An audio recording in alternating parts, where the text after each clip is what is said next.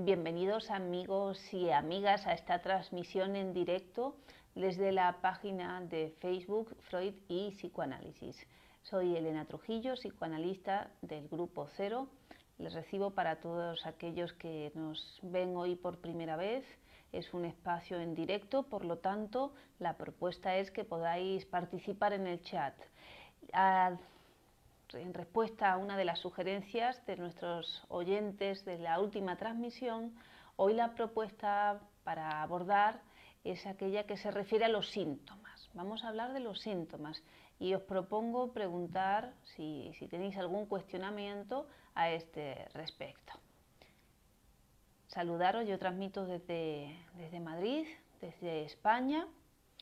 Aquí es donde está la Escuela de Psicoanálisis y Poesía Grupo Cero, donde recibo formación y donde a su vez soy profesora del seminario Sigmund Freud de formación en psicoanálisis.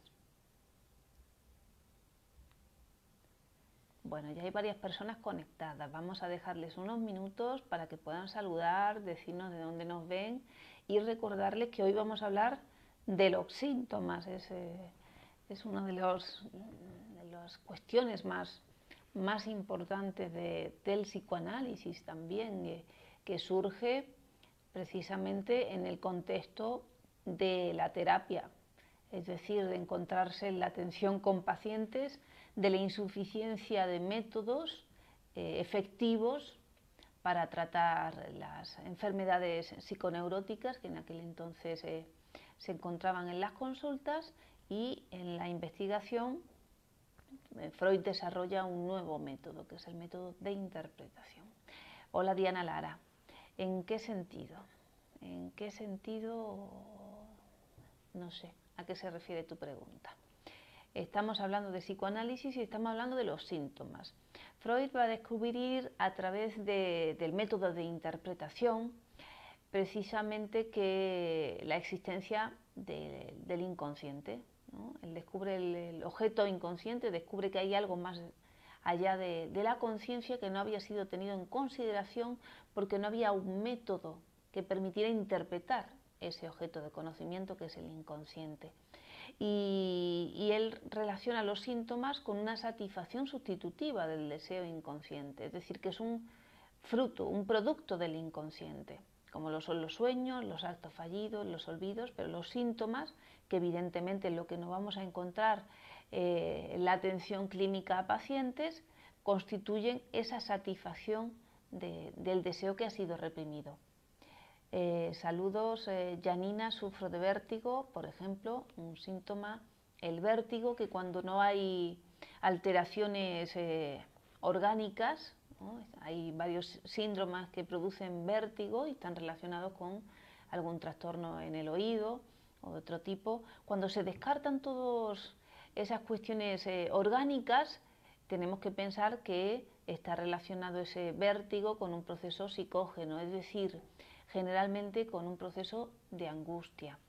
Por eso siempre en estos casos tenemos que decir, cuando presentemos un tipo de sintomatología, no tenemos que normalizarla o vivir con ello. Hay tratamiento, tenemos que acudir a la consulta del psicoanalista, para que pueda descartar eh, si es un trastorno orgánico y que requiere atención médica o si es un trastorno psíquico. Trastorno entendámoslo también como, como lo que estamos hablando, la palabra síntoma. Síntoma es la presentación de, algo que no estaba anteriormente, de algo que, se sale de lo normal y que afecta al, desarrollo de la vida de la persona. Un síntoma en la que se, se está produciendo un elemento que no estaba con anterioridad y que tiene, está relacionado eh, simbólicamente con la sexualidad de, la persona que lo padece. También es muy interesante esa cuestión que la necesaria ampliación del concepto sexualidad, que no se refiere lógicamente exclusivamente a la genitalidad, la sexualidad ampliada, el descubrimiento de Freud es que los síntomas eh, son eh, manifestaciones neuróticas y que tienen que ver con esa sexualidad infantil que tendría que haber sido eh, elaborada de una manera diferente y ha sido elaborada a través de la represión. Entonces, bueno, son elementos teóricos que yo no les quiero explicar en demasía, pero sí eh, que de alguna manera eh, hagamos frente. Hoy publicaba yo una frase en mi Facebook profesional y donde indicaba que a veces incluso podemos caer en ese, en ese error a través de la página Freud y Psicoanálisis. A veces pretendemos que leyendo psicoanálisis, entendiendo alguna frase, tomando algún pensamiento, pretendemos racionalizar y creer que comprendemos el inconsciente o que comprendemos cómo, cómo son los deseos.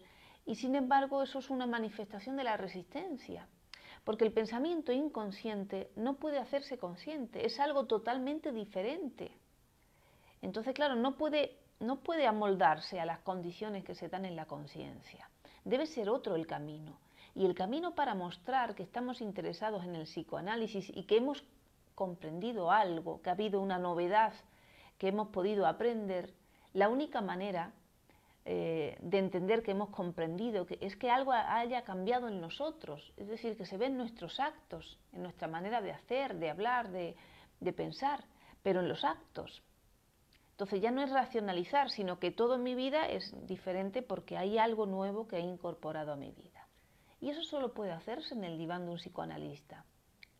Entonces, si decimos que los síntomas son la manifestación de una realización disfrazada del deseo, como lo son los sueños, pero los sueños no son un fenómeno patológico, son un fenómeno de la vida normal, cuando estamos durmiendo. A la mañana, cuando nos despertamos, desaparece, se produce el fenómeno del olvido. Pero los síntomas están en la vida del sujeto sin su control por parte de la conciencia y afectando a la relación que tengo con la realidad. Me afecta toda mi realidad, que precisamente es una de las problemáticas de la neurosis que nos está apartando de la realidad. Laura Cristal, saludos.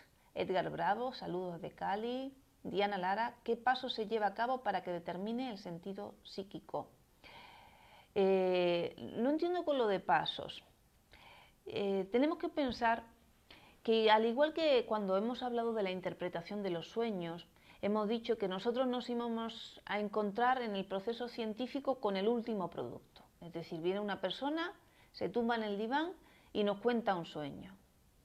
Ya no está dormido, ya ha habido olvido, ya mm, eh, lo que él relata es algo muy diferente a lo que soñó.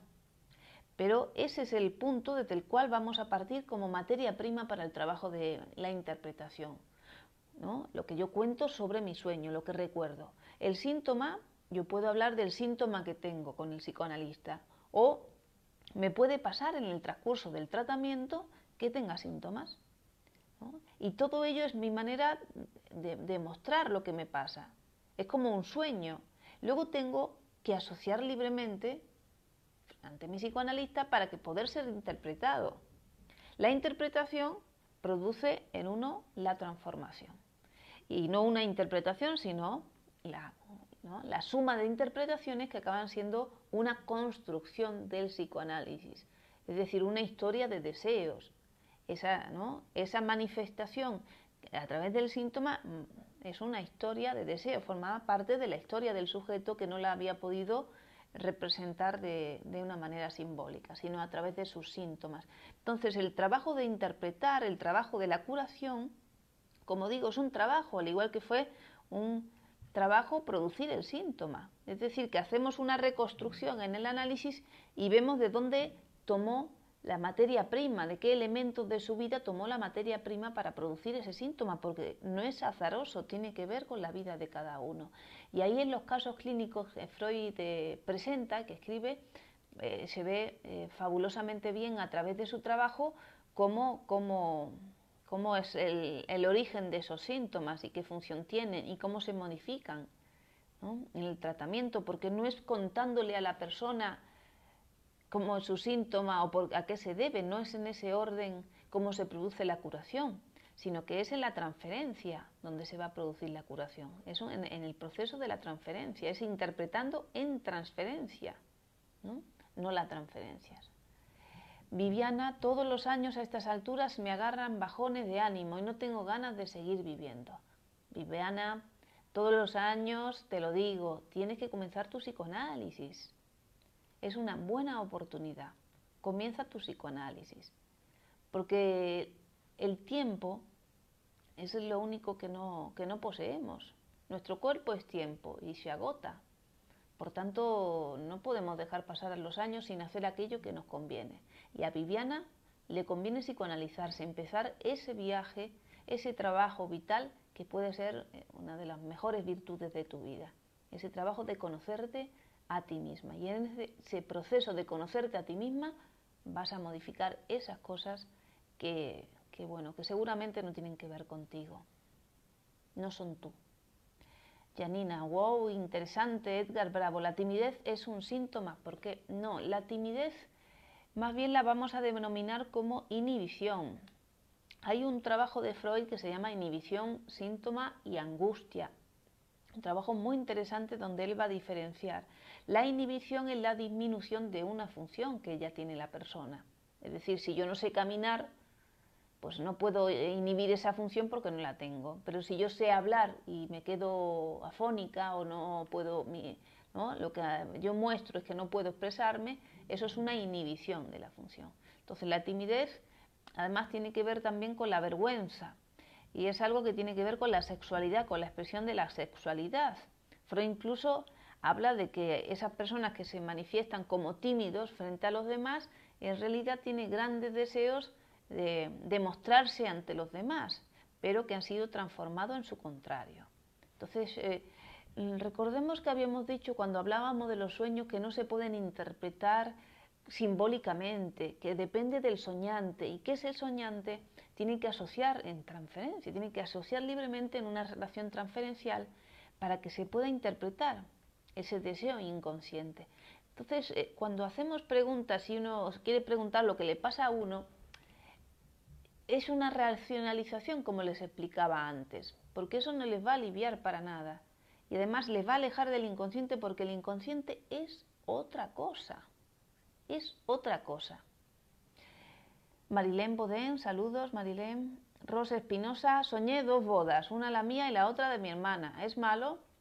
Bueno, sale muy caro, dos bodas. Sale muy caro. Entonces, a lo mejor a tu papá le parece mal que os caséis las dos, porque eso ya no está de moda. Y no sé, Ros, malo no es soñar, malo no es desear. El deseo tiene que ver con uno, pero el deseo no está, no está a flor de piel, hay que producirlo, Ros. Eh, yo creo que si tienes curiosidad acerca de tus sueños, tienes una oportunidad para comenzar tu psicoanálisis, para poder hablar con un psicoanalista de tus sueños y descubrir un poco más de tus deseos. Eh, los deseos generalmente son infantiles, son reprimidos y son una fuente de energía que si no está sometida a la represión la podemos transformar en, en energía de la creación, por ejemplo, en amor. El amor no solo con la pareja, sino el amor social, producir algo nuevo en nosotros es eh, otra manera de la satisfacción que, es propia del ser humano y que tiene que, tiene que ser eh, elaborada, porque en general eh, estamos acostumbrados a, trabajar solamente para las necesidades o para el placer, pero además de eso hay algo más para el humano, que solo la, la guía del placer o el displacer. Hay algo más. Ros, yo creo que que no te tienes que ahorrar el trabajo mm, de conversar en tu psicoanálisis con tu psicoanalista de, de esta curiosidad, de estos deseos, de aquello que constituye tu vida. Es una oportunidad para que tú lo conozcas y conozcas también aquellas cosas que están en ti como disposiciones, como una energía disponible pero que no estás usando. Yo, yo te lo recomiendo. Janina, muy bien. Flores Benítez. Gracias por tu interpretación desde el psicoanálisis de lo que es el síntoma. ¿Qué opina de las terapias centradas en la resolución del síntoma y por qué no se toma en cuenta que anular el síntoma eh, desde el principio es despojar al sujeto de su única muletilla ante la vida? Muy interesante, muy interesante esa pregunta. Veo que eres una lectora y que algo entiende de lo que estamos hablando. Es muy interesante porque muchas de las terapias... Eh, que, vemos psicológicas. Hoy una persona me, hacía como un listado de todas las terapias que hay y parecía que casi estamos en un supermercado. Perdónenme la, la, el permiso que me he dado.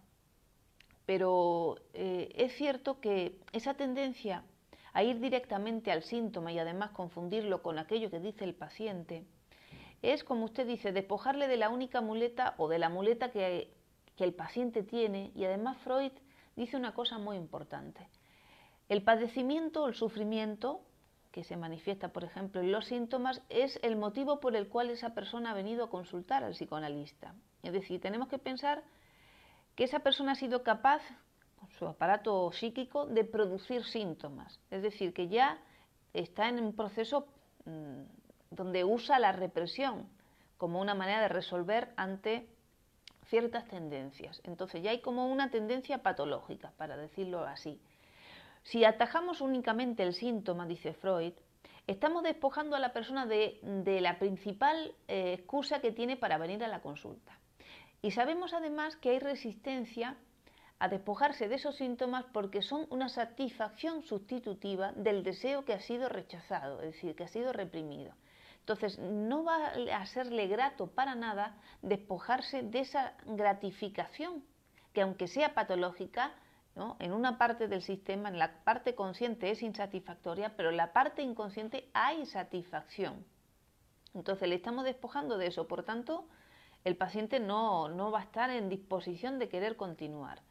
Y por otro lado, se observa el fenómeno de que la persona luego vuelve a, como no hemos atajado el complejo que ha producido eh, el síntoma, se va a producir una nueva producción de síntomas, porque el inconsciente pulsa, es decir, que está trabajando constantemente y el deseo que ha producido, ¿no? que se ha manifestado, deformado en esa sintomatología, se va a poner en otra manifestación.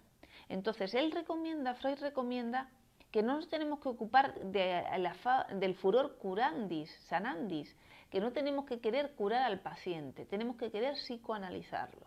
Y para ello hay que fomentar el desarrollo de la transferencia, permitir que la persona o indicarle cómo se asocia libremente, que pueda hablar en sus, en sus sesiones, que cumpla con los pactos de los horarios y del, y del pago económico que funda la función del psicoanalista. Y en ese proceso la persona va, a poder ir eh, transformándose. Primero, porque se enferma el cuerpo de la transferencia en lugar de la vida del paciente y porque los síntomas dejan de ser tan necesarios para él porque se producen nuevas formas de satisfacción, más adecuadas y más llevaderas con la personalidad actual de la persona. Entonces, muy interesante tu pregunta porque yo entiendo que desde los profesionales de la psicología, de la salud, del psicoanálisis incluso, puede haber esa tendencia a querer solucionar lo que le pasa al otro o sentirse empatizado con el dolor que el otro siente. Pero mucho cuidado, mucho cuidado, que las cosas en el inconsciente son más complejas de lo que parece y donde el otro necesita eso que, que le acontece hasta que pueda producir un cambio en su estructura. Y eso se hace con el trabajo psicoanalítico, con ese trabajo cuidadoso y artesano eh, a lo largo de la relación terapéutica. Entonces, nada de querer ahorrar trabajo porque luego va a haber más trabajo que producimos por no haber hecho las cosas bien. Espero que se haya entendido. Silvana, eh, Janina, gracias, gracias. Silvana Celeste, ¿las migrañas pueden causar depresión? No, la depresión eh, en todo caso puede causar la migraña, puede causar eh, síntomas orgánicos.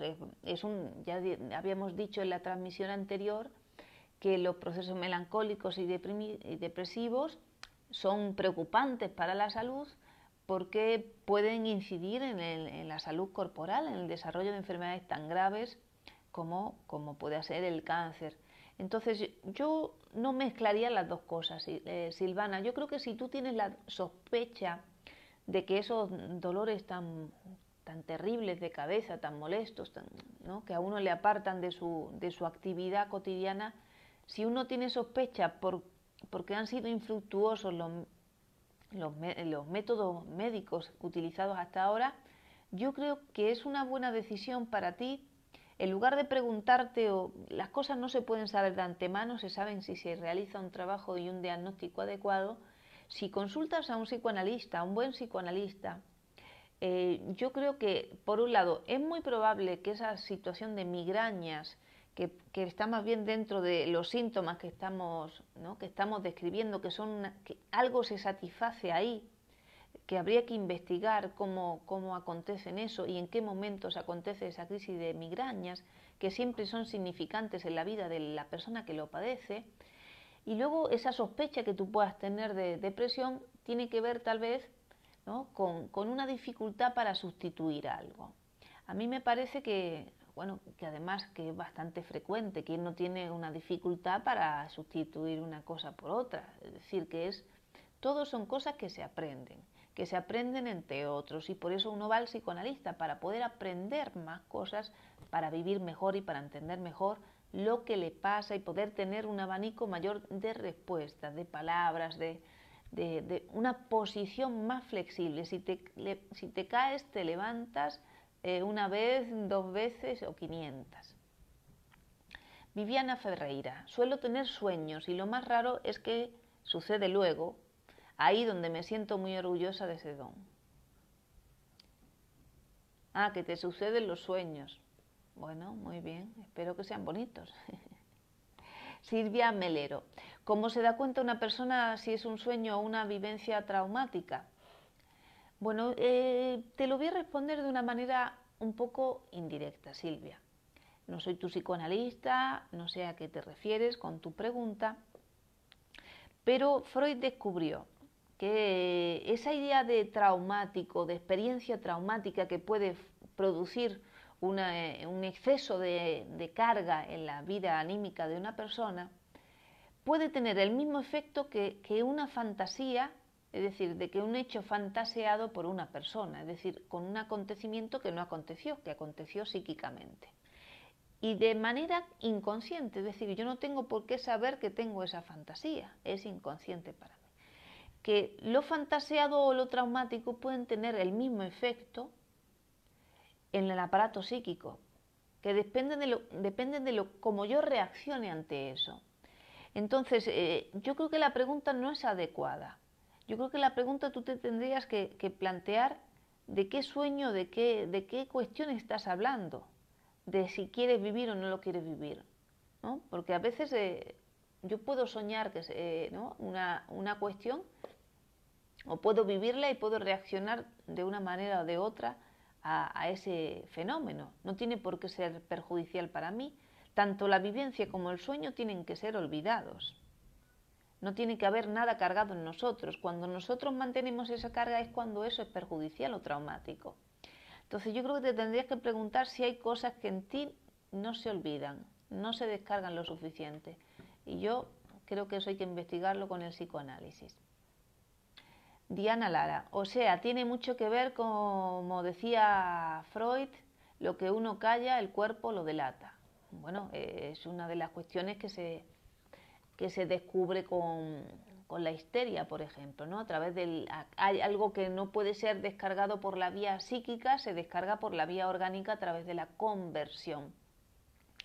Eh, que incluso la persona puede tener un recuerdo de aquel fenómeno que fue eh, traumático, pero tenemos que pensar que hay una escena que uno puede reconstruir eh, en la memoria, pero hay una escena primera que, tiene que ver con la sexualidad infantil y que tiene que ser reconstruida en el análisis. Entonces, eh, todo lo que acontece en la vida de uno tiene que ser elaborado psíquicamente por uno, si no, no forma parte de tu vida. Tu cuerpo y todo lo que acontece en tu cuerpo no es tu cuerpo ni es tu vida si tú no puedes ponerle palabras a eso que pasa. Y cuando le pones palabras a lo que, a lo que pasa en tu entorno, en tu vida, se transforma. Entonces tu cuerpo empieza a hacer otra cosa. ¿no? Uno se da cuenta que tiene cuerpo, empieza a cuidar su cuerpo, empieza a habitar en un cuerpo de humano que además uno sabe que tiene una fecha de caducidad y por eso la vida, se, al tener fecha de caducidad, tener mortalidad, yo la vida la puedo aprovechar más, porque hay quien se deprime, pero hay quien empieza a vivir, ¿no? hasta con una grave enfermedad. Entonces, eh, la vida no la estropea la muerte, en todo lo contrario, la vida la, comienza la muerte. Cuando, cuando, tú te das cuenta que esto se va a acabar es cuando empiezas a aprovechar la vida y hacer las cosas. Entonces, una de las cuestiones que ponen jaque los síntomas es que muestran que hay una dificultad en la elaboración de la mortalidad por parte de esa persona, porque hay una permanencia, hay una tendencia a regresar en su aparato a una situación que ya, que ya se perdió. Entonces, eh, cuando la vida tiene que ser pulsada por el futuro, que es lo, lo nuevo a producir. Y esa es la salud, ocuparme del futuro, ocuparme del hacer, aunque mañana no esté yo. Eri Murieta, ¿cómo definiría al buen psicoanalista? Hombre, por favor, eh, eh, Eri, que, no me pongas en ese aprieto. Espero que me, hagas una propuesta tú. Eh, sí podemos hablar de los requisitos para ejercer de psicoanalista, porque buen psicoanalista sería un poco, un poco grosero, ¿no? Pero los requisitos que la Escuela de Psicoanálisis Grupo Cero pone para un psicoanalista son muchos. Y si es un psicoanalista del Grupo Cero son más. Pero en primer lugar, un psicoanalista tiene que estar en un psicoanálisis permanente, con otro psicoanalista más eh, capacitado o con más experiencia que él. Permanente, toda la vida. Por tanto, los psicoanalistas que hayan dejado de psicoanalizarse para la escuela de Grupo Cero no son psicoanalistas. Punto dos, todos los psicoanalistas tienen que tener un supervisor para poder supervisar su trabajo como psicoanalista. Y eso es toda la vida profesional del psicoanalista, toda la vida. Formación permanente.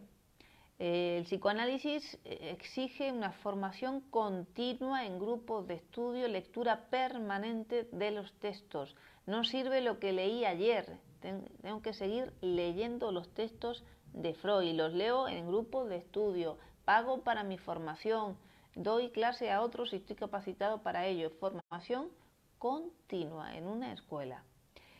Eh, esos son elementos básicos, por ejemplo. ¿no? La salud mental del psicoanalista, eh, la supervisión de su trabajo y su formación teórica.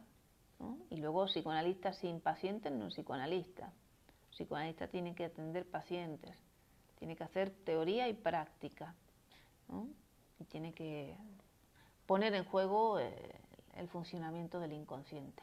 Joaquín Mendoza, saludos, Elena. Ana Gabriela Flores, ¿una persona puede vivir en su mundo disociativo sin que le afecte en su vida diaria? ¿Por qué se produce la disociación? Bueno, me está recordando ese fenómeno de doble conciencia que utilizaban al principio para referirse a la histeria y donde como que había, como tú dices, una disociación, una parte donde uno vivía ciertas experiencias y otra parte que, desconocía eso. Eh, el, sistema inconsciente es el que se ocupa de todo, es decir, se entera de todo. Es donde está almacenado todo, todas tus experiencias, todas tus reacciones, todo. Entonces, eh, ¿qué ocurre? Que con para manifestarse en la conciencia hay un proceso de censura, hay una necesidad de deformar aquello que acontece en la conciencia. Entonces tenemos que pensar que lo que tú llamas disociación o personalidad disociativa, que no son términos eh, que utiliza el psicoanálisis, ¿no? Eh, la psicosis o los síntomas neuróticos o incluso cualquier actividad creativa que uno desarrolle, pueden ser sometidos a la interpretación psicoanalítica, que quiere decir que eso va a producir el deseo inconsciente. Vamos a saber del deseo inconsciente, lo vamos a transformar, pero tiene que haber ese, ese, ese trabajo de interpretación. Entonces, yo puedo saber a través de esa otra personalidad que digo que tengo, que no es así, si me someto al análisis, si hablo, me pueden interpretar aquello que yo puedo poner, es como el, que duerme y la vida diurna, ¿no? El que cuando duermo hay una parte de mi censura que no actúa, entonces me permito ciertas cosas, o cuando me bebo unas copas eh, me desinhibo y puedo decir algunas cosas que de otra manera en, sobriedad no la diría, pero sigue siendo, sigue siendo mi deseo, sigue siendo yo. Entonces, eh, que, la disociación es una manera de, de, aprovechar para expresar algo que uno quería hacer. Eh, saludos, Viviana. Ingrid, me pasa que a veces no me acuerdo de lo que sueño y lo poco que me acuerdo no es algo positivo. ¿Por qué me puede pasar eso? Bueno, pero debe pasarte en la vida. Hay cosas en tu vida que, la, que no las estás aprovechando, que las estás desechando, incluso cosas muy positivas de tu vida. Entonces, claro, fijémonos cómo somos de parciales.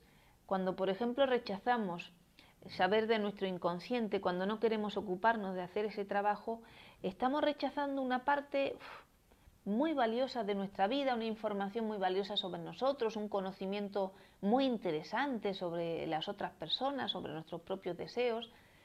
pero estamos a veces dispuestos a renunciar a esa, a esa riqueza o a esa parte de nuestra vida para quedarnos con otra parte. Y a veces, como tú dices, me quedo con lo peor. Entonces, claro, ahí estoy mostrando que, que sé elegir mal. Yo creo que hay que aprender a elegir bien, que es una opción, es un derecho elegir bien, elegir a favor de uno, elegir las cosas que, que a uno le convienen, que le hacen bien. Y normalmente te hace bien estar con otras personas inteligentes que comparten contigo cosas inteligentes y que te permiten crecer y hacer cosas que, te permitan ser diferente a ti misma y aprender y desarrollar algún pensamiento.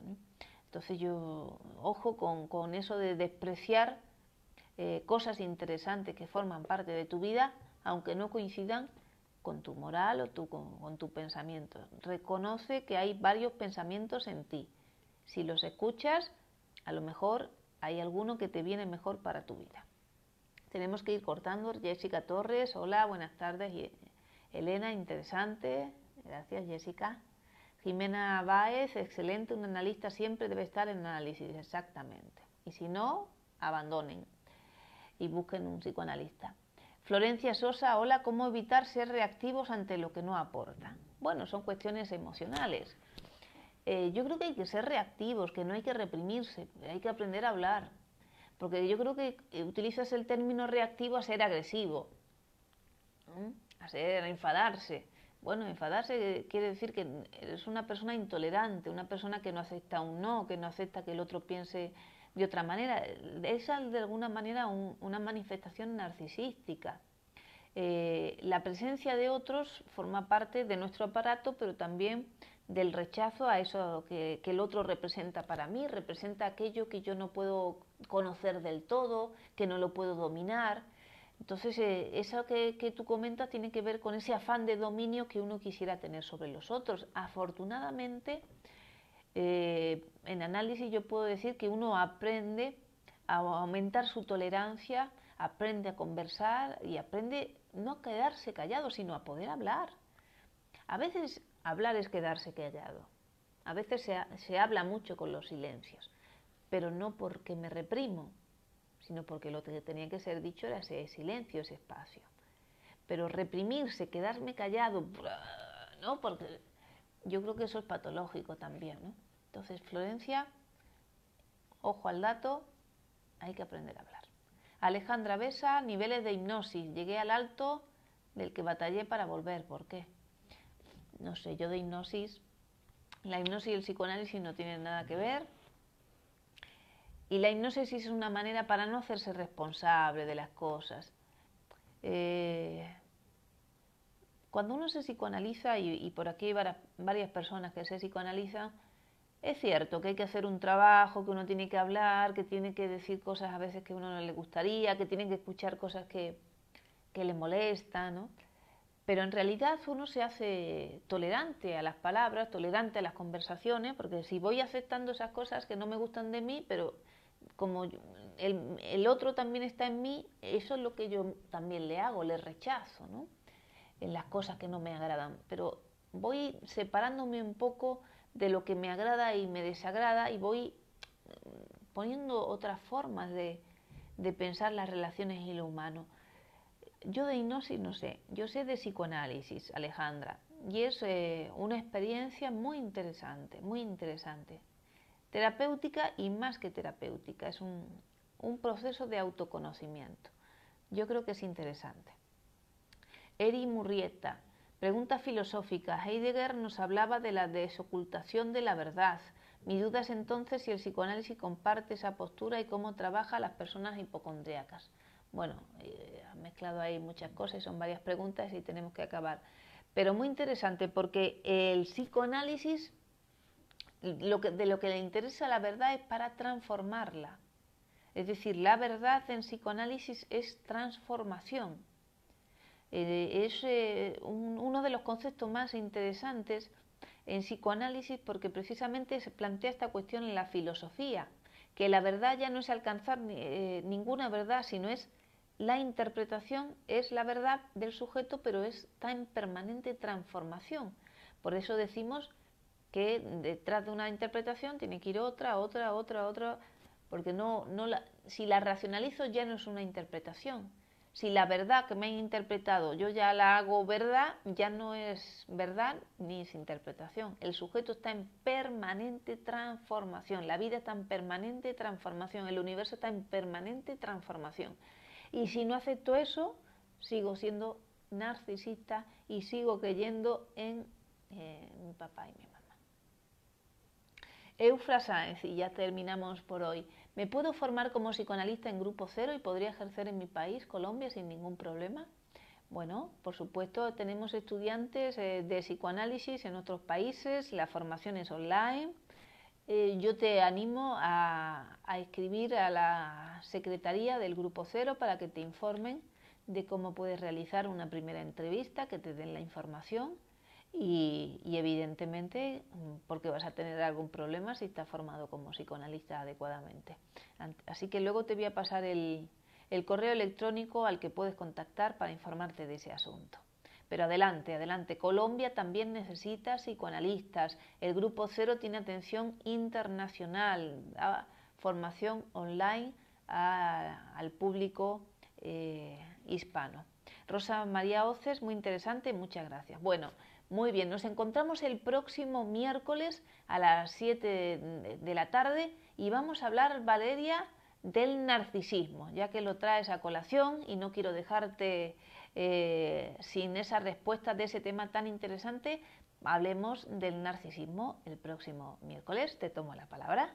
Así que muchísimas gracias. El próximo miércoles a las 21 horas en España, 14 horas en México, 14 horas en Perú y 16 horas en Argentina. Ah, saludos a todos amigos que además de vernos en directo también nos veis eh, grabado en el canal de YouTube. Recordaros que compartáis el vídeo y recomendéis a vuestros amigos seguir la página de Freud y Psicoanálisis, que si somos más podemos ser mejores y además nos lo pasamos mejor, ¿verdad? Así que Valeria, narcisismo la próxima. Gracias, gracias.